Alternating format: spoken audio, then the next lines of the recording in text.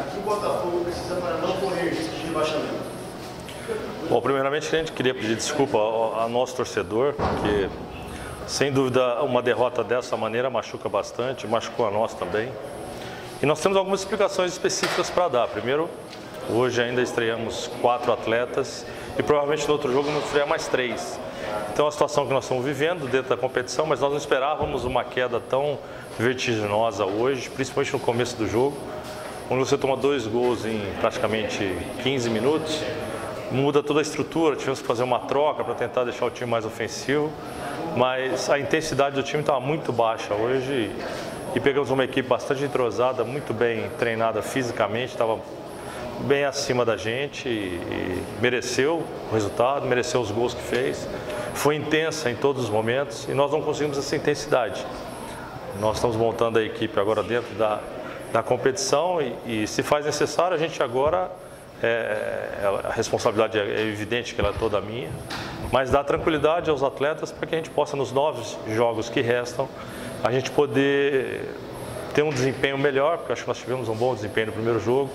O segundo jogo foi totalmente atípico, com uma expulsão ainda no primeiro tempo. Nós jogamos praticamente 70 minutos com um a menos, não conseguimos ter força para chegar ao ataque e acabamos perdendo num lance é, que não é normal acontecer, é um gol que aconteceu da maneira que foi. Então aqui a gente, a gente segue trabalhando e já conversamos com os atletas e amanhã retomamos para fazer um jogo melhor dentro da ponte. Pergunta agora do Felipe Melo, da Rádio CBN. Boa noite, Galo. É explicável esse resultado?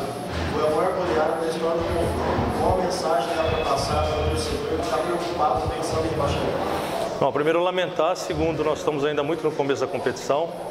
E terceiro, se você fizer uma análise do. Eu gosto de jogar muito ofensivamente e a gente nem, não está conseguindo muito essa situação pelos problemas que a gente tem, está tendo é, até de montagem da equipe, não está sendo, sendo fácil reposição também. Mas isso tudo faz parte do futebol e é evidente que ainda faltam nove partidas. Nós vamos focar muito nos nove jogos aí para fazer um jogo melhor, melhorar e não passar por esse problema que há algum tempo o Botafogo vem passando. Pergunta agora do Murilo do Tribuna. Boa noite, Galo. Hoje, novamente, desta vez com igualdade numérica, o Botafogo teve muitas dificuldades para criar jogadas. Entendo a aposta nos três volantes e vejo que você não tem tantas opções para o setor de criação. Após o jogo contra o Guarani, você citou que o Michel seria seu jogador para isso. Nas partidas em que ele esteve em campo, não demonstrou tanto ter características para executar essa função. Essa carência no elenco te preocupa? Vocês vão ao mercado buscando um jogador mais tarimbado para essa função? Então, nós temos dois atletas, o, o, tanto o Michel como o Renatinho, são jogadores para fazer essa função. O Renatinho provavelmente vai ter condição de jogo para sábado. E o Michel, ele estava muito tempo sem jogar, nós tentamos fazer com que ele tivesse um ganho físico dentro das partidas, mas preferimos tomar uma atitude de preparar o melhor, porque ele é um talento e, e tiramos ele essa semana justamente para melhorar essa condição física dele. Ele não estava suportando 45 minutos de jogo, é um jogador que vai evoluir na competição. Então são dois atletas que a gente conta para essa função. Pergunta agora do Jorge Vinícius, da TV Tati. Qual, qual a porcentagem de culpa que você carrega nessa goleada vexatória em tão pouco tempo? No ano passado, o Botafogo perdeu de 6 em casa para o Mirassol, hoje 5 a 0. 100%. A responsabilidade é toda minha. Não seria diferente. Tem essa. A responsabilidade é do treinador e, e é isso. Agora, existem os porquês de tudo isso. Mas eu novamente peço desculpas ao nosso, ao nosso torcedor, que sem dúvida está magoado, como eu também estou, muito. E é evidente que a gente vai sair dessa, porque nós tivemos é, jogos com intensidade, tanto o primeiro como o segundo jogo, jogando com, com um ritmo bem melhor do que foi hoje. Pergunta agora do Wilson Rocha, do W Sports. Galo, boa noite. O Santos foi ser titular nos dois jogos, inclusive contra o São Paulo. Hoje foi destacado após tomar o segundo gol, deixando em campo o Helder com 20 anos.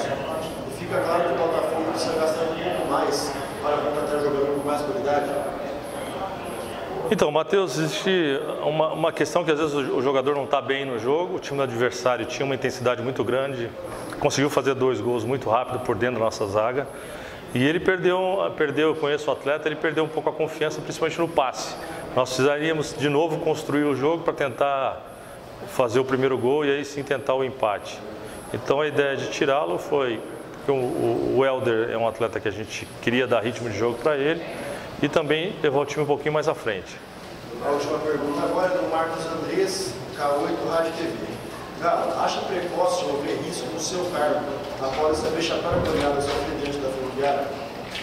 Ah, Isso faz parte do futebol. Né? Na verdade, é uma pergunta que tem que ser feita ao presidente. E a gente deixa ele sempre bastante à vontade.